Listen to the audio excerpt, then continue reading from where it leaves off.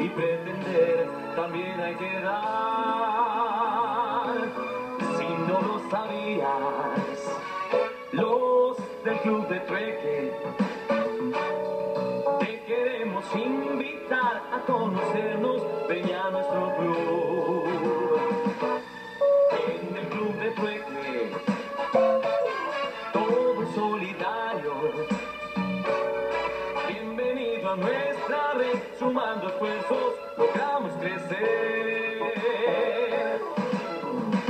En la red podemos encontrar respuestas ante tanta necesidad. Una opción, ya una realidad.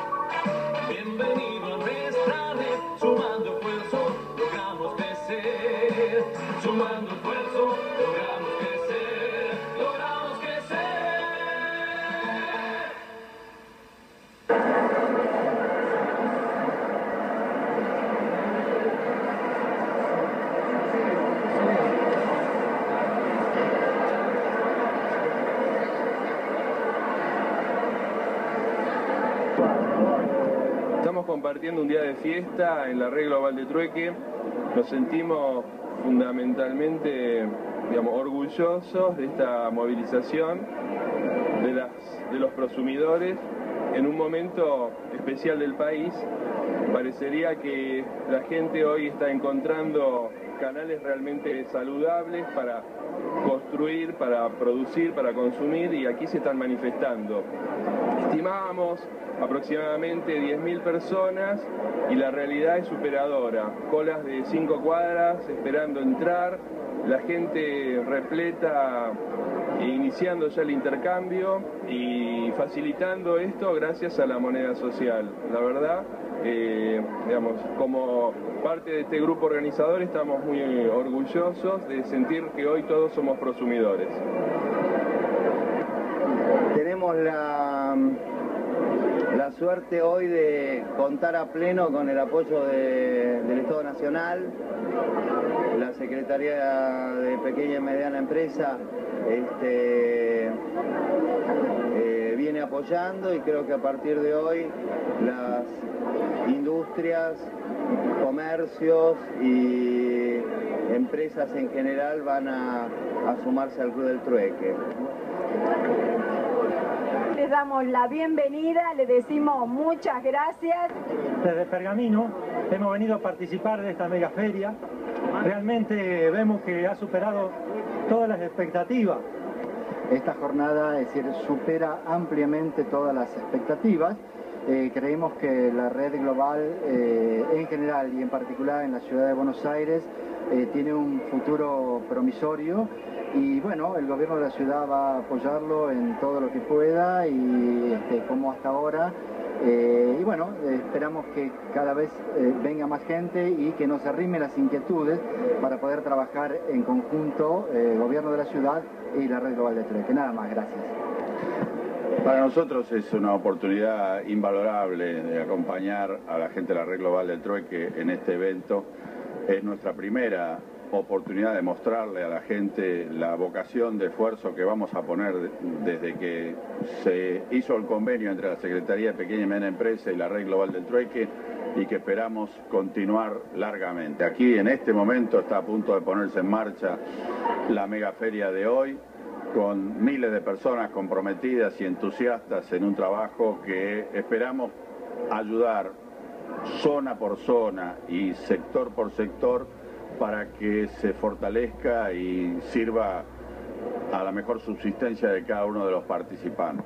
Nuestro esquema de trabajo es bastante simple. Eh, la red global la creó la gente, es de la gente y así lo seguirá siendo sin apropiaciones espurias de sectores o fracciones políticas. La responsabilidad del gobierno es ayudar a cada uno de los prosumidores a mejorar su capacidad de producir para de esa manera poder aumentar su capacidad de consumir. Esa es nuestra idea central. Muchas gracias.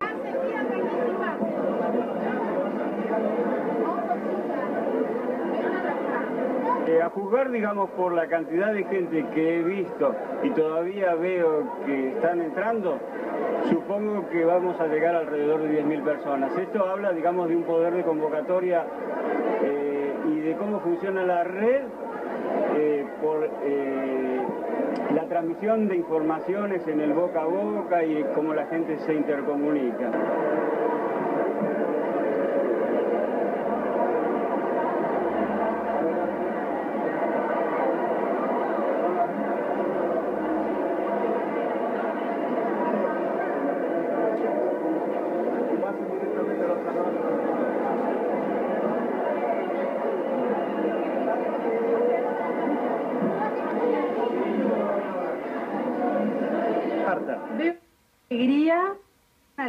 Mejor dicho, el progreso que ha existido. En estos cinco años que yo estoy en la red, he venido a todos estos eventos que son una vez al año y este de hoy me ha conmovido porque veo un orden, una disciplina, un arreglo de las mesas, o sea, veo un progreso, vamos creciendo, vamos mejorando y para aquel que tiene las ideas de nuestra querida red del trueque, es un verdadero orgullo y una verdadera alegría verlo de esta manera. Thank you.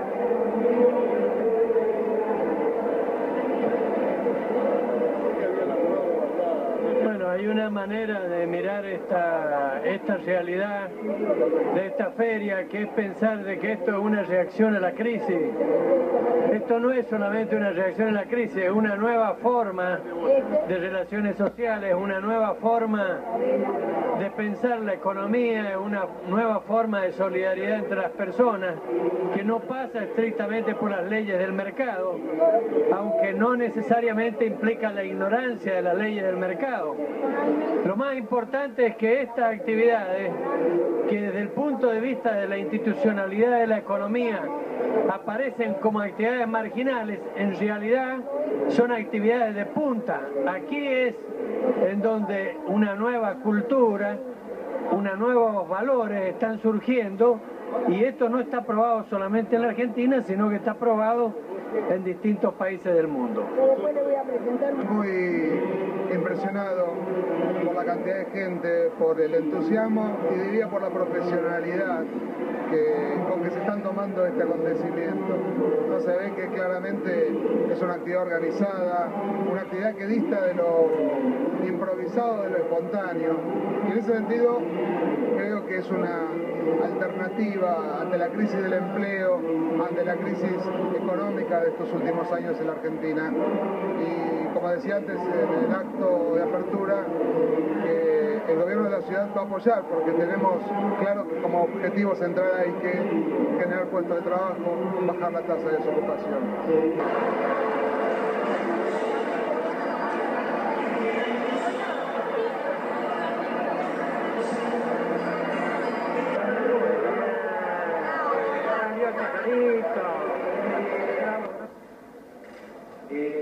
Año 98 eh, fuimos a Finlandia a un congreso eh, internacional y notamos por primera vez el interés que hubo entre estos 50 representantes en la experiencia argentina. Ahí por primera vez eh, nos enteramos de que había otras experiencias que habían surgido muchos años atrás. Por ejemplo, el sistema LEDs, que se parecía mucho al nuestro de la computadora, que es un sistema de, eh, digamos, local, ¿no es cierto? Cada uno de los LEDs solamente intercambia entre la gente de la cercanía. Nos dimos cuenta también que en Estados Unidos, en el estado de Washington, en Ithaca, había un señor Paul Glover que había creado también unos cuantos años antes eh, una moneda que se llamaba, eh, bueno, Hours, un sistema que contabilizaba horas de trabajo, o que después la moneda representaba horas de trabajo. Pero también eh, nos estimuló mucho saber que interesaba a nivel internacional esto que estábamos logrando en la Argentina, de una red donde era posible intercambiar de un punto a otro del país, no solamente a nivel local. Eh, esto eh, nos dio mucho coraje para continuar con esta idea, porque vimos que eh, podía estar generándose el germen de una divisa que pudiera servir para millones de personas que hoy están excluidos del mercado, para hacer su desarrollo a nivel personal, profesional, comercial. Y es ahí que eh, acuñamos una expresión que hasta ese momento no existía, que es la moneda social. Había monedas locales, otro tipo de, de denominaciones, pero lo de moneda social eh, pegó fuerte y eh, volvimos y empezamos a trabajar intensamente en ese sentido. La moneda social es una moneda creada por la ciudadanía, controlada por la ciudadanía, que tiene un sistema eh, de funcionamiento muy ingenioso, que no está basado en un respaldo como otras monedas, que podría ser en el pasado oro o dólares, sino que eh, los eh, miembros del club eh, reciben esta moneda, por ejemplo, cuando se inician a través de un préstamo, firman un, este, recibo donde se comprometen a entregar bienes y servicios por lo menos por la cantidad que recibieron y se comprometen a, devolverlos si, se retiran. De tal manera que teóricamente si aumenta la cantidad de gente, aumenta el circulante y si disminuye, se achica. Es lo que llamamos un fuelle. Esto no ha ocurrido nunca porque en general esto fue ampliando. Eh, hay una serie de principios, de normas, eh, escritas o no escritas, que han contribuido a, que esta moneda tuviera un carácter original eh, y que funcionara.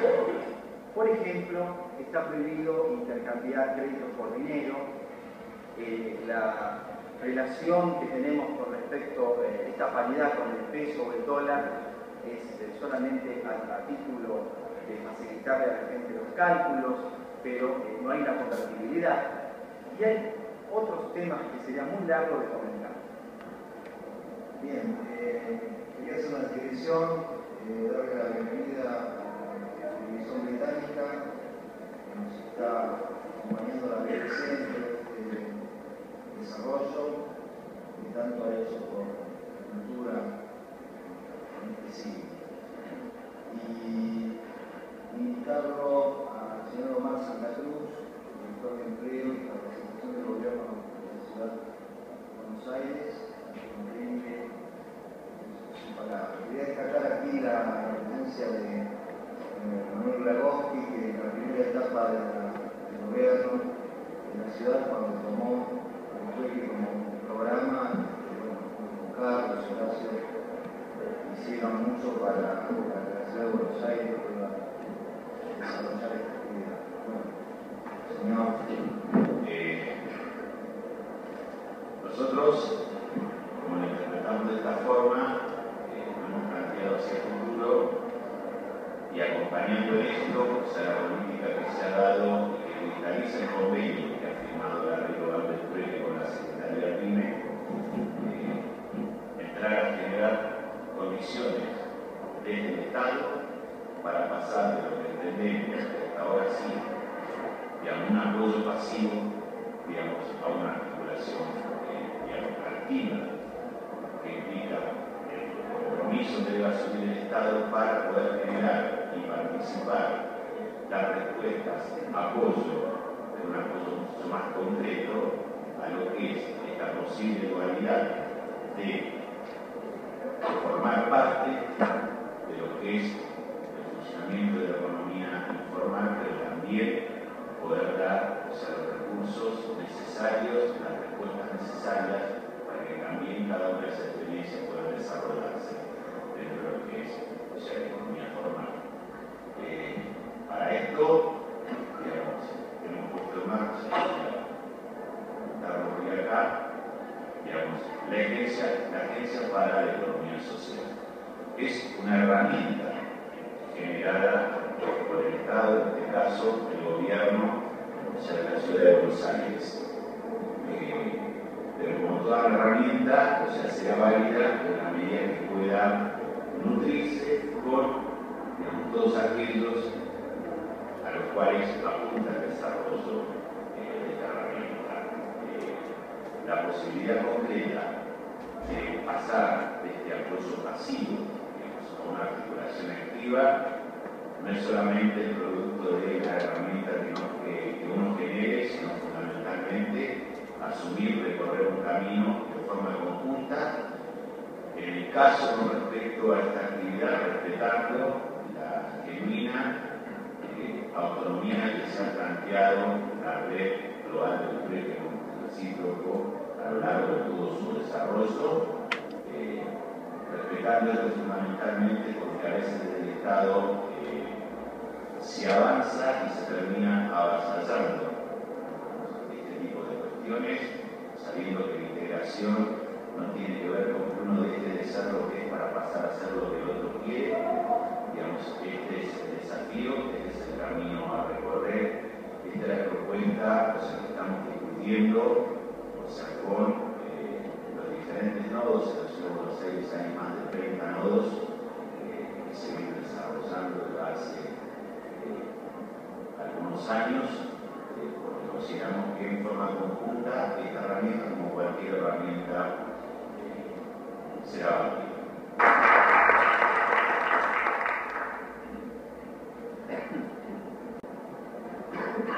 Bien, para eh, concluir las exposiciones, invito al licenciado Eduardo Moquero, asesor de la CITINE, a brindar su óptica de nacional. Me parece sería importante recordar bueno, la labor, no sé si se lo nombró el ingeniero Juanov, toda la gestión municipal fue protagónico cuando bueno, el que era apenas mi intención, clubes, y él nos invitó a una mesa de trabajo en el CETIN, las ECOAS y chicos que son la administración entonces depende de la Rúa este, apoyo para se en algo de mayor proyección. Y es muy importante lo que nos cuente el licenciado Arquero, que ha pasado en la educación social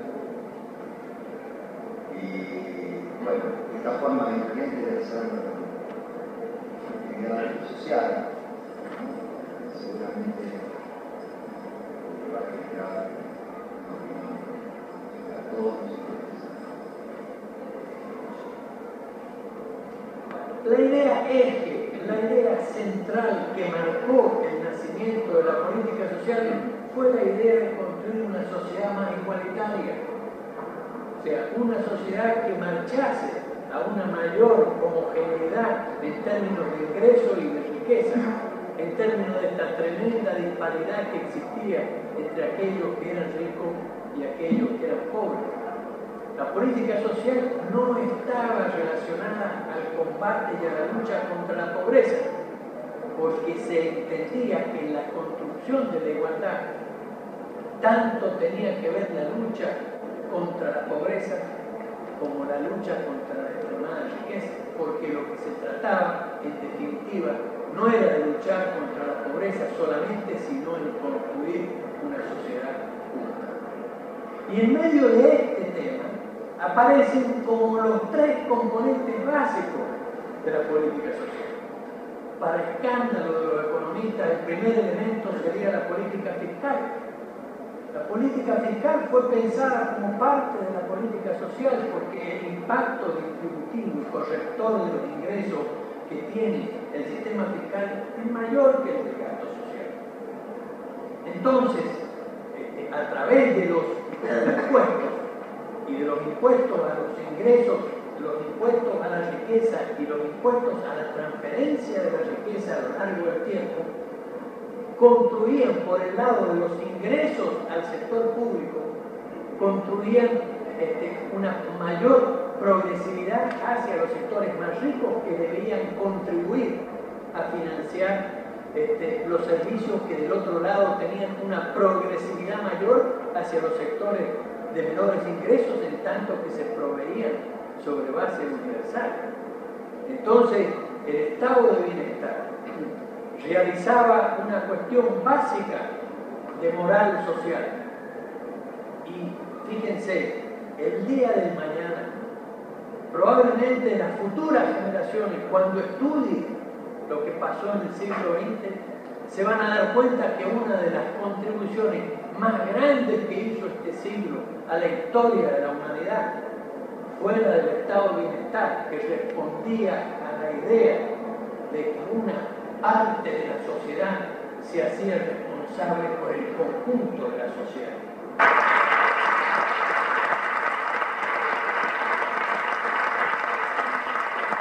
Bueno, eh, voy a saludar a los genios que tuvieron la idea de alguna vez reunirse y decir vamos a hacer la red global del trueque.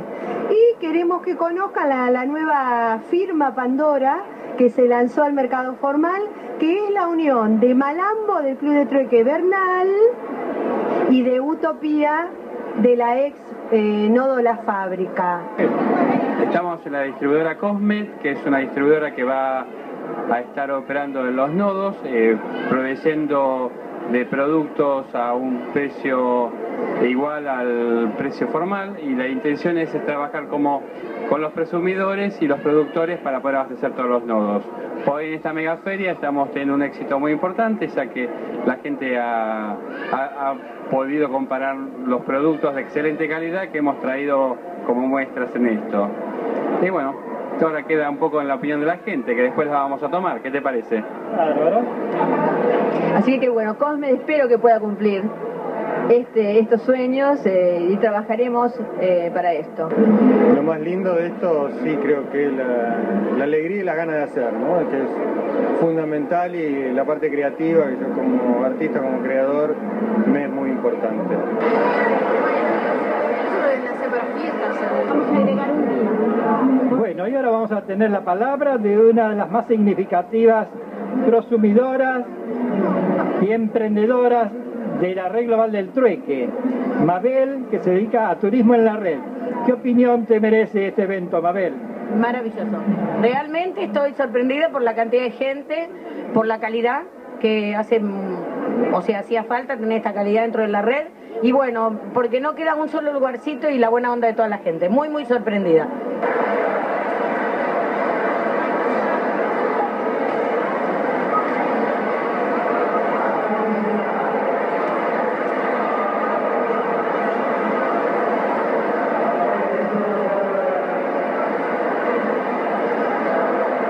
Eh, sentimos que estando juntos, como en un microemprendimiento, podemos hacer más fuerza. Y que vale porque vale para otros que por ahí hoy no lo conocen y que pueden llegar a disfrutarlo mañana o por lo menos tomarlo como una alternativa más. Eh, ¿cómo vas? Que es presidente de la y es uno de los emprendedores que, bueno, que viene trabajando en este.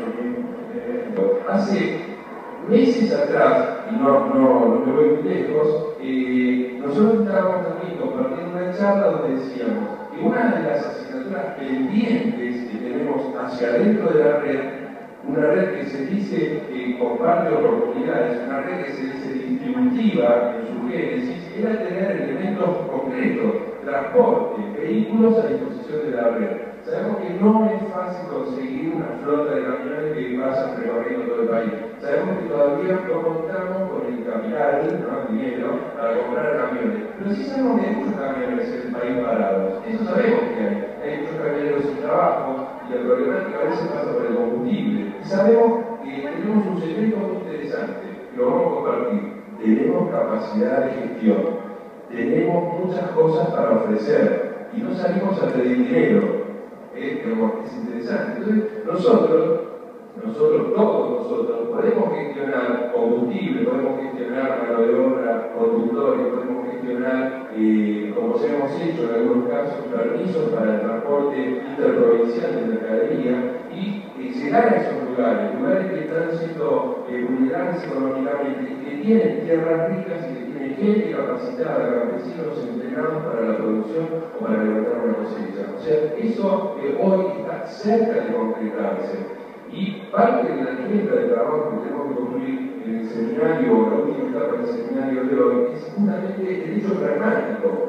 Nosotros podemos declamar muchas cosas, podemos usar palabras bellas y podemos tener oradores fabulosos. El tema es qué hacemos mañana, qué lunes, qué pasa cuando yo me levante la mañana, qué, qué tengo instalado en mi mente, cómo sigo este juego de vivir, ¿no es cierto? ¿Tengo una la voy a usar o fue un domingo ganamos un domingo distinto, pero mañana de vuelta a la realidad, ¿no es cierto?, de salir a, a pelear el banco, ¿no es cierto?, y con la absoluta competitividad porque si no vamos a la yo pienso que lo que estamos instalando acá justamente es el cambio de paradigma, traducido una oportunidad, ¿no es cierto? Una oportunidad para pensar de otra manera y para producir y consumir desde otro lugar.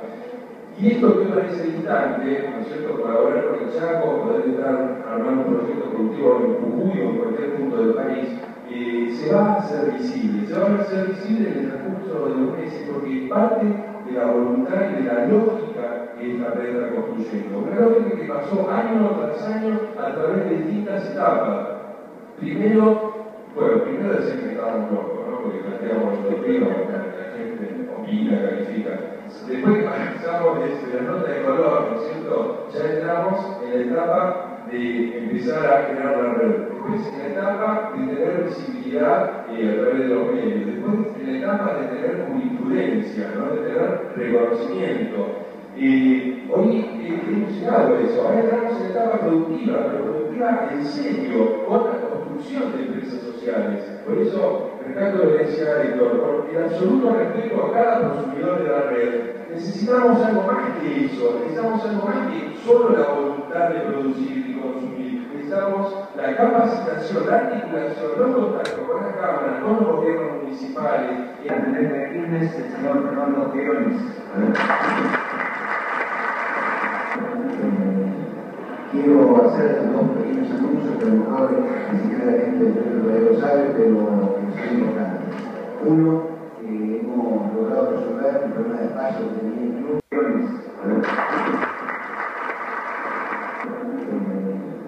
Quiero hacer dos pequeños anuncios que a lo mejor ni siquiera la gente lo sabe, pero son importantes. Uno, eh, hemos logrado resolver el problema de paso que tenía el club y un poco de más vamos a hacer un convenio para que puedan tener eh, por los próximos cinco años un edificio con todas las comodidades ubicado en Cajetín Rodrigo López que va a permitir albergar no solo a todo el que están, sino que va eh, a permitir realizar una expansión importante en los próximos meses. Yo,